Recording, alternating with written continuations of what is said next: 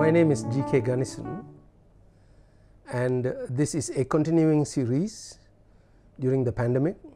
Today's topic is can an employer refuse to pay his employees wages during the lockdown. Much of the answers that I have been able to give you in this video has been as a result of a collaboration with another industrial lawyer called V.K. Raj to whom I express my gratitude straight away. Now the answer to the question whether an employer can refuse to pay salaries to an employee during the lockdown is no. Why? Because the employer's obligation to pay the salaries is a continuing one. So, unless the event like the lockdown is a very long enduring event, the obligation to pay continues. So, let me start with the question about why. Why should salaries be paid? The answer has to do with the duration of the coronavirus lockdown. It is going to last a long time. But how long is long? Two weeks, three weeks, four weeks, six weeks. That is not long and that is no excuse for an employer to cut down the salaries of his employee. Uh, the work of an employer at this time is suspended. It is suspended because he cannot get to work. He cannot perform his duties. If he was an engine operator, he's got no engine to operate on. If he's a driver, he's got no bus to drive. If he's a clerk, there is no documents for him to work on and therefore, there is no work. His work is suspended. Suspended means what? It means somebody is prevented from carrying out his function.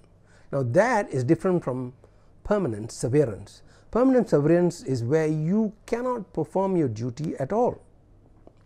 So what is the legal status of an employee whose work has been suspended? Well, there are two Indian cases. The first one occurred in 1954.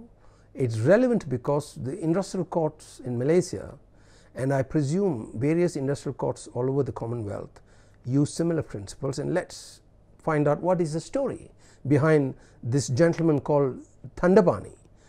Thandapani was for some reason suspended by his employer. I assume it must have had something to do with discipline. But during suspension was the employer required to pay the salaries of Thandapani? The employer said no. He has been suspended. He is not working. Why should I pay his salary? Well, the Indian High Court said you have to pay his salaries because it said suspension simply means he is debarred from doing his duty. That is a temporary deprivation of his office. That does not mean he ceases to be an employee. So, you have to pay him.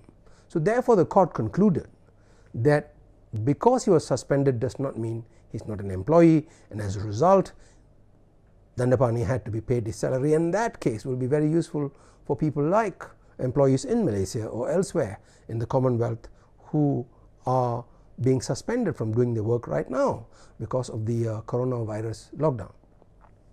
There was a second case in 1991.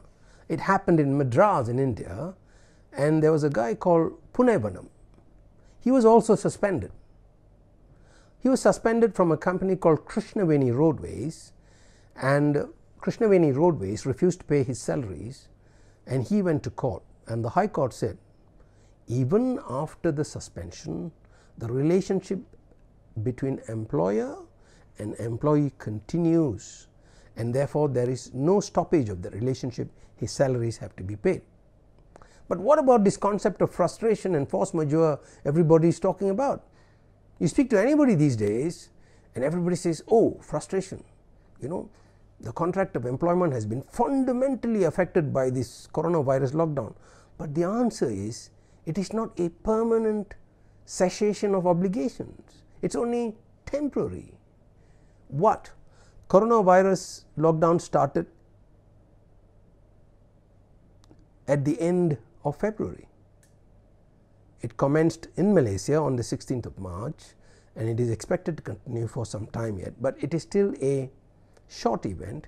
It is not as they argue in frustration a supervening event that completely alters the contract it does not the contract continues and therefore I do not think there is at this point in time any frustration at work here. However, I suspect if the suspension is for periods of longer than 6 months a year then we may have to reconsider whether frustration actually works, but for the moment do not worry about it. Uh, the movement control order, the lockdown is only temporary and therefore I do not think frustration will work. So, as long as the movement control order or the lockdown is temporary, salaries have to be paid. I hope you enjoyed it. Please make sure that you like, comment and subscribe and if you liked this video could you please share it with your friends. Thank you very much and have a good day.